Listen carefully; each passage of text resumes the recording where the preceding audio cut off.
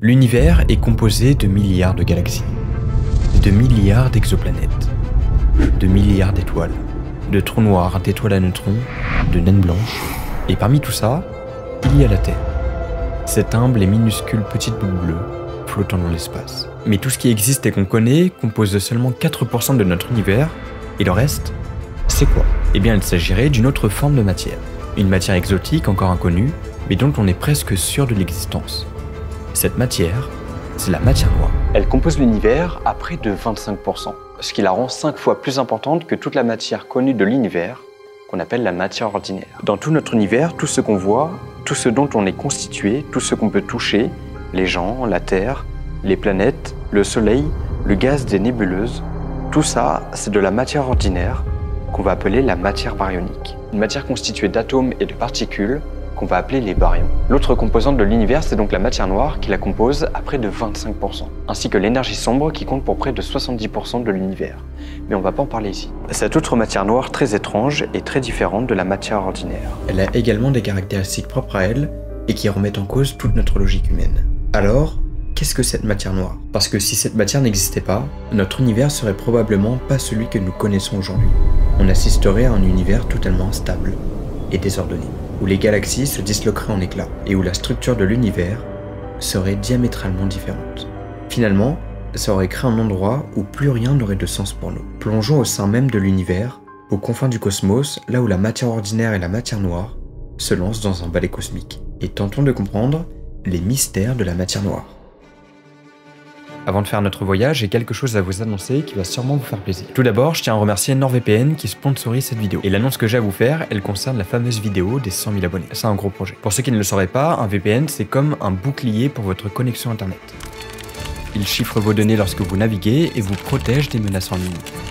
Alors avant, j'utilisais jamais de VPN, mais maintenant je dois avouer que ça m'est pas mal utile pour accéder à du contenu qui est indisponible en France ou me protéger sur des réseaux Wi-Fi qui sont publics. Si vous voulez par exemple regarder des documentaires Netflix sur l'astronomie, eh bien sachez qu'il y en a plein qui sont disponibles partout dans le monde, mais pas en France. D'ailleurs, je me suis servi de NordVPN pour réserver mes vols d'avion pour mon projet des 100K. Comme ça, j'ai pu avoir les billets un peu moins chers mais je vais rien vous spoil parce que c'est un projet de grosse envergure. Malheureusement, ça arrivera pas tout de suite, ça arrivera dans quelques mois, et je vous laisse venir sur Instagram pour savoir quand ça sortira. Le but primordial d'un VPN, c'est de chiffrer vos données pour éviter que quelqu'un puisse y accéder et les voler.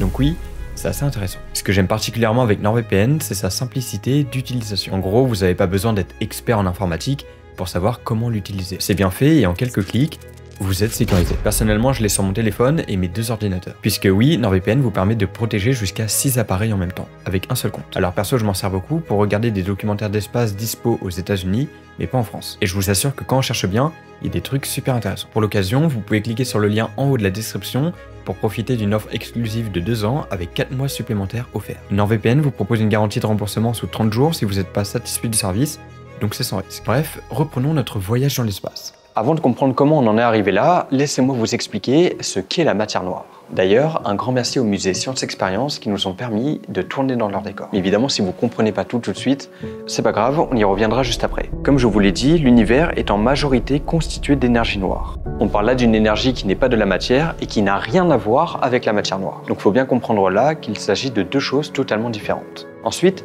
il y a la matière ordinaire qui compte pour près de 4% de l'univers. Vous constaterez que c'est très peu et c'est pour ça qu'on dit qu'on connaît trop peu notre univers.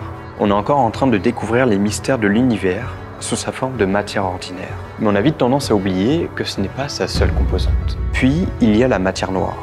Alors la matière noire est beaucoup plus abondante que la matière ordinaire. On parle là d'une matière 5 fois plus présente que la matière baryonique, et qui pourtant reste un mystère pour nous encore aujourd'hui. Alors attention, son nom peut porter à confusion. On ne parle pas là d'une matière qui est à proprement parler noire.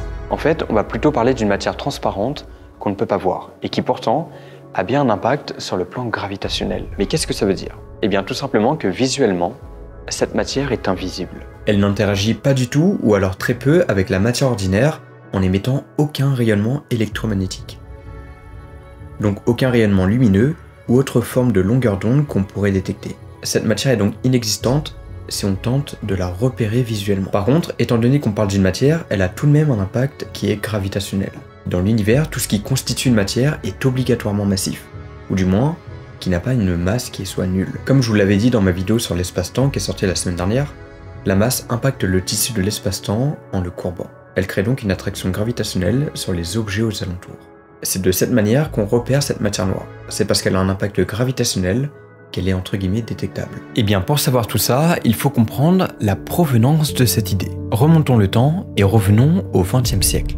Plus précisément, en 1933. C'est durant cette année-là que tout a commencé. On est dans une période où Einstein vient de bouleverser le monde de la cosmologie 15 ans plus tôt, avec sa théorie de la relativité générale. L'Europe est de plus en plus instable sur le plan géopolitique, mais le monde de la science est en plein essor. De plus en plus des découvertes sont faites et les théories qui en découlent sont de plus en plus intéressantes. On parvient donc à mieux comprendre notre univers et on enchaîne les découvertes au fil des années. On se retrouve aux États-Unis et on découvre un astrophysicien très peu apprécié de l'époque, Fritz Zwicky. Connu pour son arrogance et son comportement très maladroit, il avait pour habitude de critiquer ouvertement ses collègues et d'un point de vue scientifique, il avait tendance à affirmer des choses audacieuses et révolutionnaires. Ce qui pouvait donc déplaire à ses collègues qui étaient un peu plutôt conservateurs. Donc ça veut dire qu'ils étaient plutôt focus sur les idées de base. Mais un jour, il retourne travailler à l'observatoire du Mont Paloma où il travaillait d'habitude. À ce moment-là, il étudiait les amas de galaxies, c'est-à-dire des regroupements de plusieurs galaxies dans l'univers.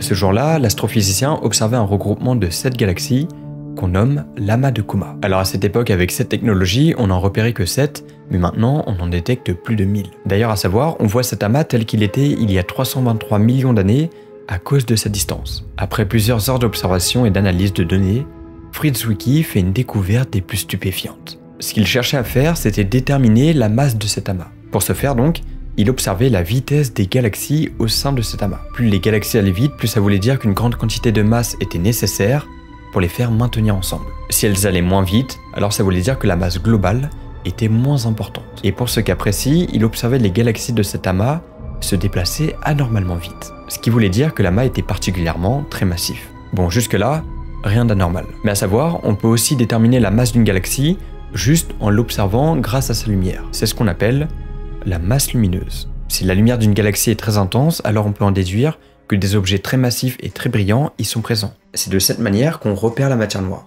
On la voit entre guillemets puisque son impact gravitationnel détectable. Après, comment on la voit? Eh bien ça, on en parlera tout à l'heure. Ce qu'on ignore particulièrement, c'est la nature de la matière noire. On sait qu'elle existe puisqu'on remarque quelque chose qui a une gravité, mais qui pourtant nous est invisible. De quoi est constituée cette matière noire? Quel genre de particule n'interagit pas électromagnétiquement avec la matière ordinaire? Et possède-t-elle une influence gravitationnelle? Imaginez deux galaxies.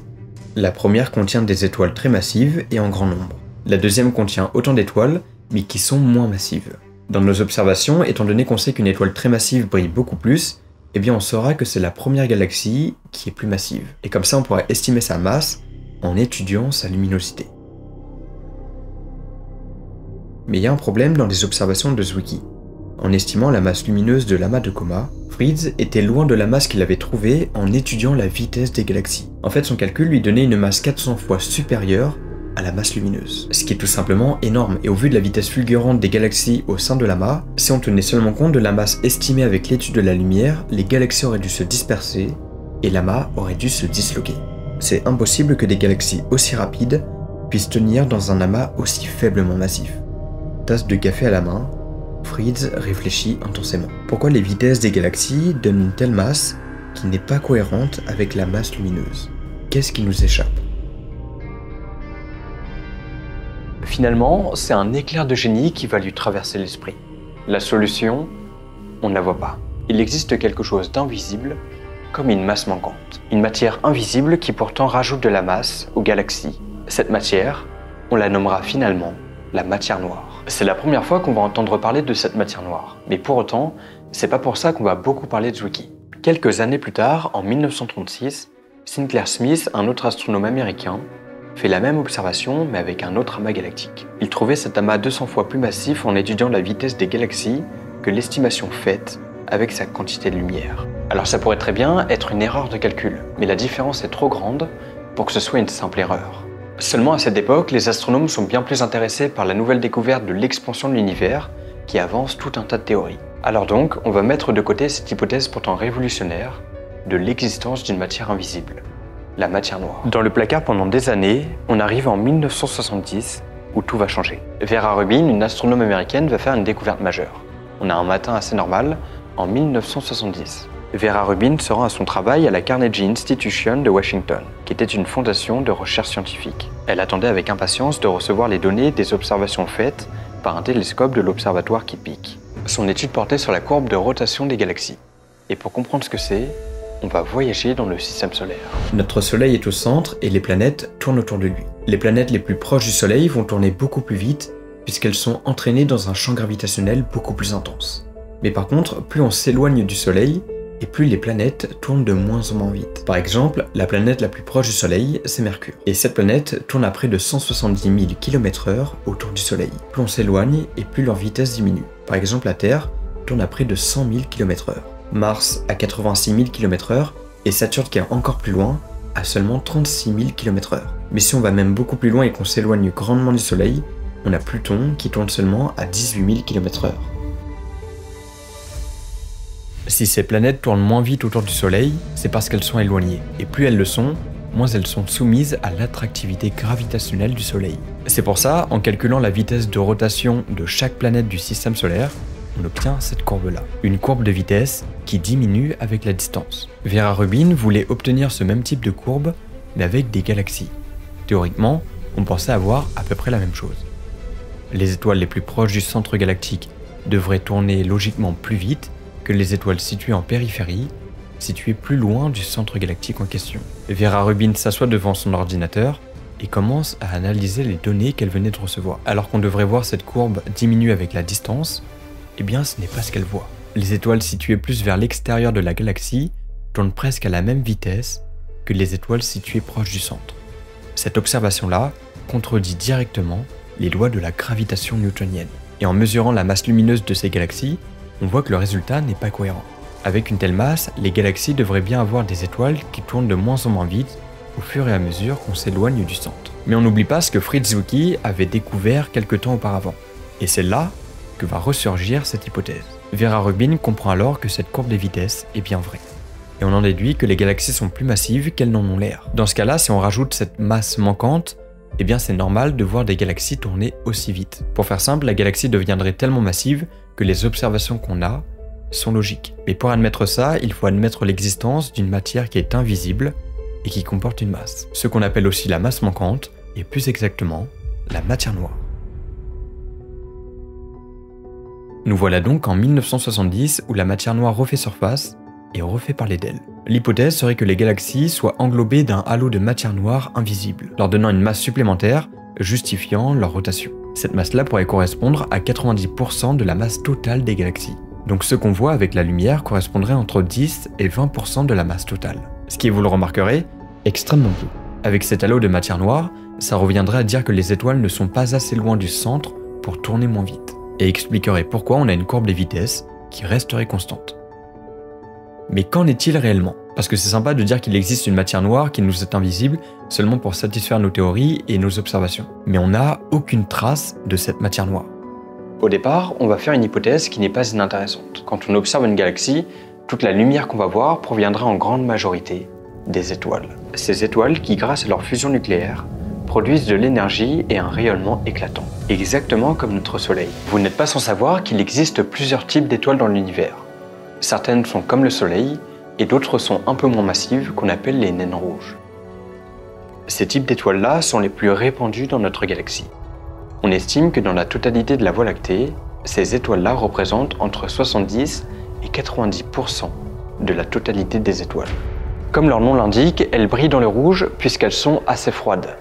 Mais tellement elles peuvent être froides et briller dans le rouge, ça leur arrive de briller dans l'infrarouge. Et là, on parle d'une longueur d'onde qu'on a du mal à détecter avec nos télescopes. Tout simplement parce que c'est au-delà des limites du spectre visible. Alors l'hypothèse, c'était que dans ces galaxies-là, la masse lumineuse était faussée en ne pouvant pas détecter d'autres masses puisqu'elles nous étaient invisibles. Comme donc exactement la masse des naines rouges. En conséquence, on perd dans nos observations une grande quantité de masse. Alors peut-être que finalement, cette masse qu'on recherche, on ne la voit pas, puisqu'elle est émise par les naines rouges, rayonnant dans l'infrarouge. Bon, désolé de tout casser, mais cette réponse n'est peut-être pas la bonne. Même en prenant cette idée-là, ça ne justifie en rien la masse tellement plus importante que la masse visible. Alors, retour à la case départ. c'est quoi cette matière noire? Et si finalement, c'était nous le problème?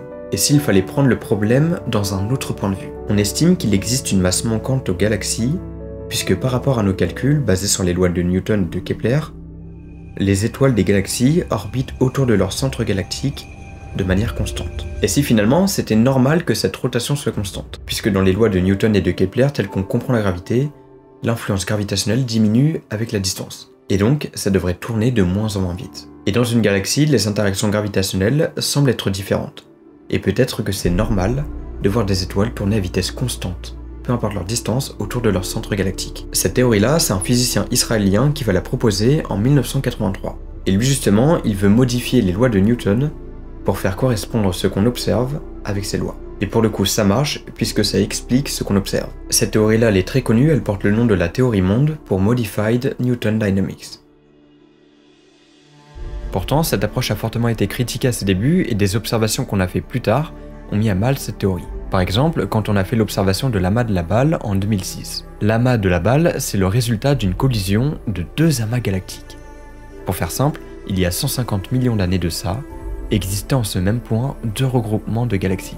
Et c'est à cette période-là qu'il y a eu le choc. Les deux amas de galaxies sont entrés en collision, redistribuant les galaxies dans cet amas à des vitesses élevées. Ça a donc perturbé totalement les deux amas gravitationnellement. Au final, on se retrouve avec un seul et unique amas qu'on va nommer l'amas de la balle. Mais en 2006, quand on a observé cet amas, on a repéré quelque chose de mystérieux. Vous l'avez compris avec ma vidéo sur l'espace-temps, la présence de masse dans l'univers déforme le tissu de l'espace-temps.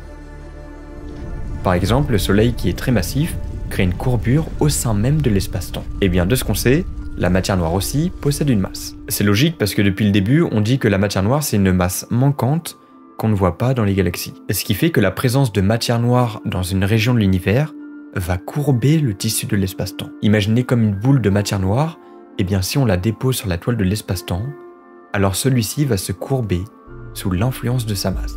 Et justement, il y a un moyen de repérer ces courbures, c'est grâce à la lumière. Souvenez-vous, je vous avais dit dans la vidéo sur l'espace-temps que la lumière c'est comme un fil qui va se poser sur l'espace-temps et suivre les courbures. C'est pour cette raison que lorsqu'un rayon lumineux passe en plein dans une courbure, il va être dévié. Bref, en gros, dans l'amas de la balle, eh bien c'est ce qu'on voit. On voit des rayons lumineux qui sont déviés. Tout autour de l'amas, on voit des galaxies lointaines totalement déformées à cause des rayons lumineux qui prennent une toute autre trajectoire. Pour faire simple, on observe donc la présence d'une masse qui est invisible. Et cette observation a de quoi faire parler d'elle. Ça prouve l'existence possible d'une matière noire. Alors remettre en question la théorie newtonienne, eh bien peut-être pas que c'est la meilleure idée. Et donc à partir de cette période, la théorie monde est un petit peu plus délaissée.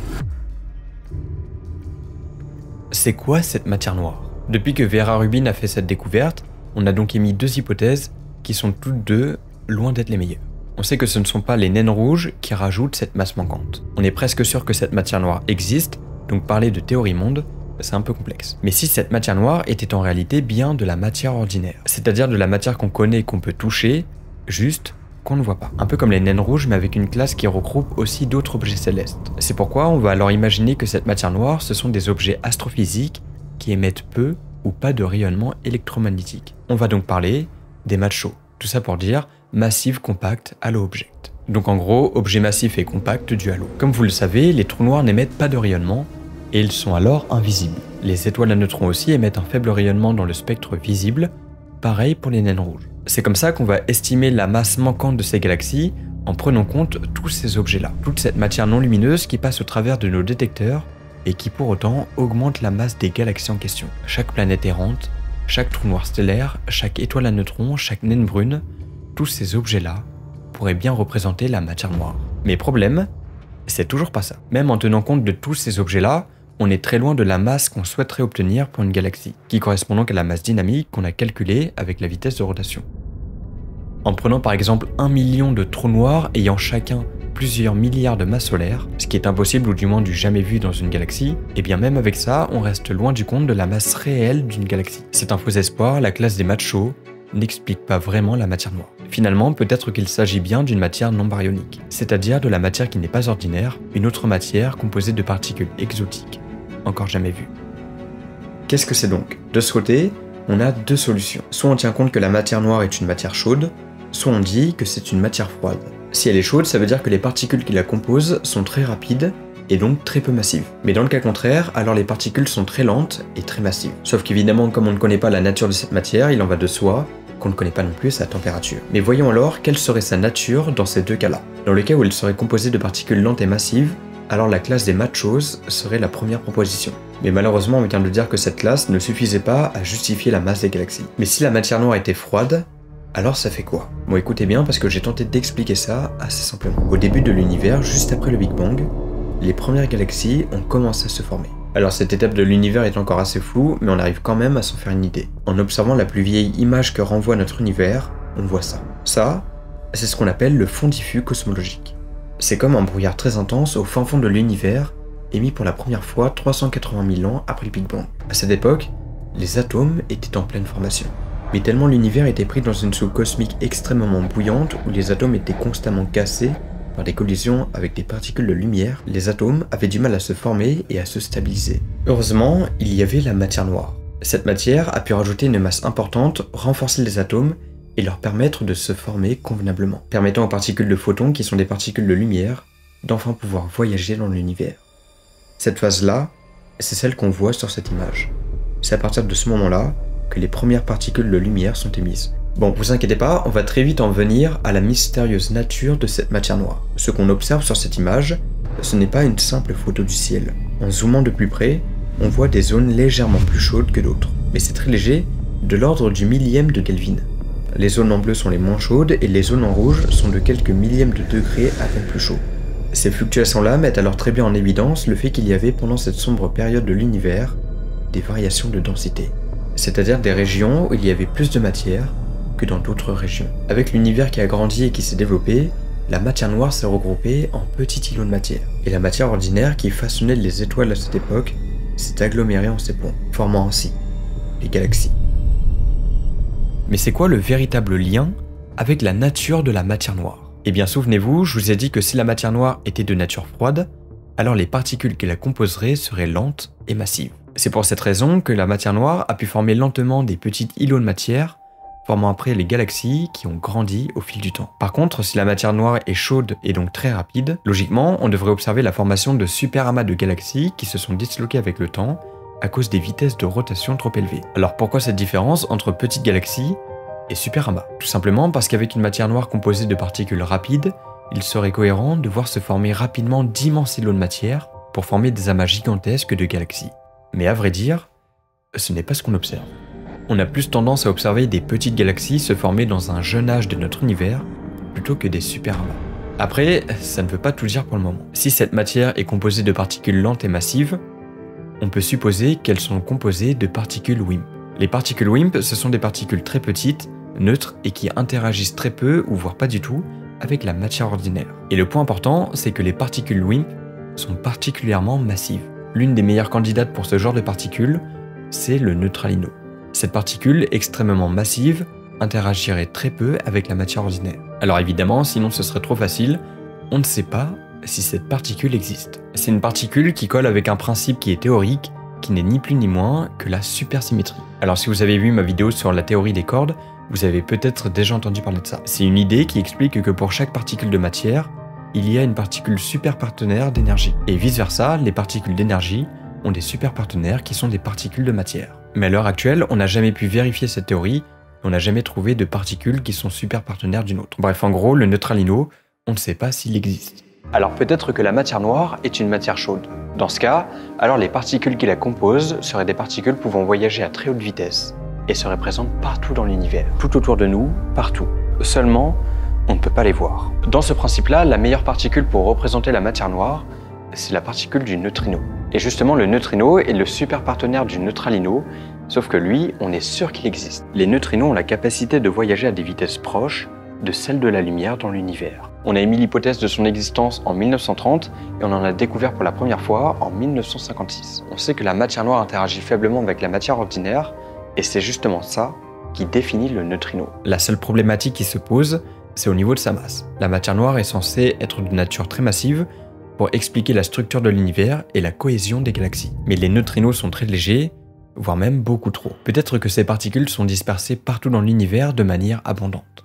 Mais même dans le meilleur des cas, même si les neutrinos étaient présents partout dans l'univers de manière abondante, cette hypothétique matière noire représenterait alors seulement 18% de la masse de l'univers, au lieu de 25% qu'on a dit initialement. Donc autant dire qu'on est très peu sûr de nos résultats. La particule du neutrino est alors finalement pas la meilleure candidate. Alors la matière noire est possiblement composée d'une autre particule encore mystérieuse. Finalement, de quoi est constituée cette matière noire si mystérieuse? Cette matière noire qui a une forte influence sur notre univers et qui sans elle, nous ne serions pas là. La réponse à donner, c'est que pour l'instant, on ne sait pas.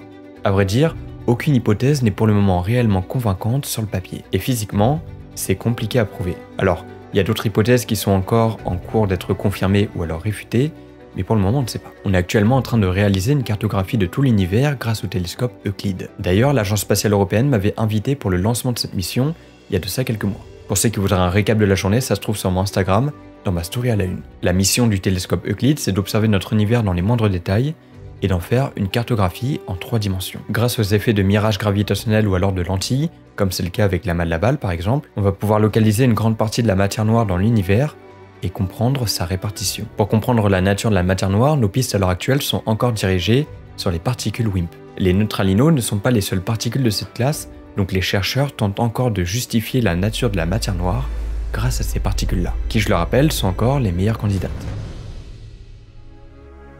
À savoir, ce n'est pas que dans l'univers que ça se passe. C'est aussi sur Terre, au cœur même des collisionneurs de particules. Au LHC en Suisse par exemple, les chercheurs font entrer des particules en collision dans l'objectif de détecter une énergie ou une impulsion manquante, ce qui justifierait donc la présence d'une particule de matière noire. Plus on avance et plus on a de plus en plus de mal à trouver la nature de cette étrange matière sombre. Y arriverons-nous un jour? Sûrement, mais ça semble loin d'être pour tout de suite. Alors après, une dernière nouvelle est survenue il y a quelques semaines qui vient un peu chambouler tout ça. Après 10 ans d'observation, le télescope Gaia, qui est dans l'espace, on a eu des résultats qui sont plus qu'intrigants. Étonnamment, Gaia nous informe que dans notre galaxie, les étoiles situées en périphérie tournent moins vite que les étoiles situées plus proches du centre. Mais on observe bien cette diminution de la vitesse au fur et à mesure que la distance avec le centre galactique augmente. En fait, on voit ce qu'on devrait voir en toute logique en tenant compte des lois de Newton et de Kepler. Alors oui, c'est assez contradictoire. Pour le moment, les résultats sont jeunes et ça reste un peu compliqué de porter un jugement encore. Les méthodes d'analyse et de calcul sont différentes, et là, on parle de notre galaxie qu'on voit depuis l'intérieur. Peut-être que la matière noire n'est pas aussi présente dans notre galaxie que dans d'autres galaxies. Ou alors peut-être que les mesures sont pas correctes. À un moment donné, on a aussi pensé que la matière noire pouvait être de l'antimatière. Mais là encore, ça ne marche pas, puisque si c'était de l'antimatière, eh bien on l'aurait détecté. En réalité, ce qu'on cherche, c'est une forme de matière qui n'est pas dense, où les particules sont lourdes est dispersée partout dans les galaxies et dans l'univers. Une matière dix fois plus étendue que la matière ordinaire est 5 fois plus importante. Alors peut-être qu'il y a de la matière noire dans les trous noirs primordiaux. Et ça justement j'en ai parlé dans ma dernière vidéo où je parle des trous noirs les plus mystérieux de l'univers, les trous noirs primordiaux. Alors je vous comprends. C'est vrai que c'est un peu frustrant et étrange de se dire qu'il existe autre chose qui nous entoure, qui est présente partout, mais qu'on ne détecte pas et qu'on ne voit pas. Comme un peu si nous vivions dans une autre partie du monde, mais qu'un autre monde rempli de matière noire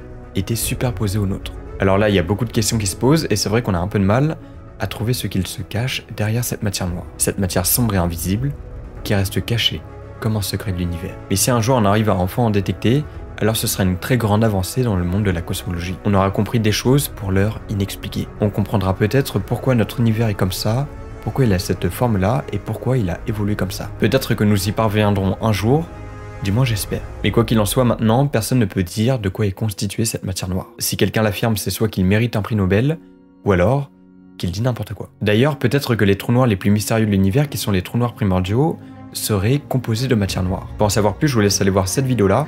Merci en tout cas d'avoir suivi celle-ci, j'espère qu'elle vous aura plu. C'était Zebrolos. Bye.